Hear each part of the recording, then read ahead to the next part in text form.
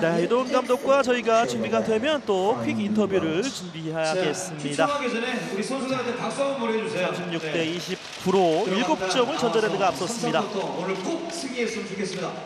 GM 세분 네, 유동. 감독님. 네, 네, 전반전에는 그 1쿼터에 오펜스리브는 9개 시도하면서 잘 하고 있습니다. 네, 네.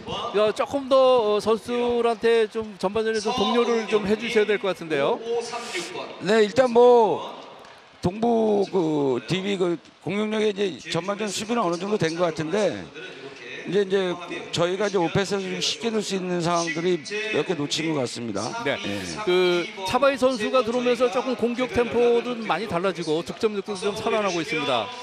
일단 외곽포가 뭐 찬스는 나는데 좀 답답할 정도로 안 터지는데 이제 뭐 차바이가 그 순간에 두 방이 터져준 게 좀 숨통을 튀긴 것 같습니다. 네, 그 도망가야 될 타임에서 지금 못 도망가고 있는데 네네. 후반전은 어떻게 준비를 하실 겁니까? 어차피 상대가 그 후반전에는 이제 좀 노련한 선수들이 많이 기용하기 때문에 저 뭐야 하여튼 뭐 저희들도 체력 안배를 통해서 좀 3, 4쿼터에 좀 같이 승부를 봐야 되지 않을까 생각합니다. 네, 감사합니다. 네.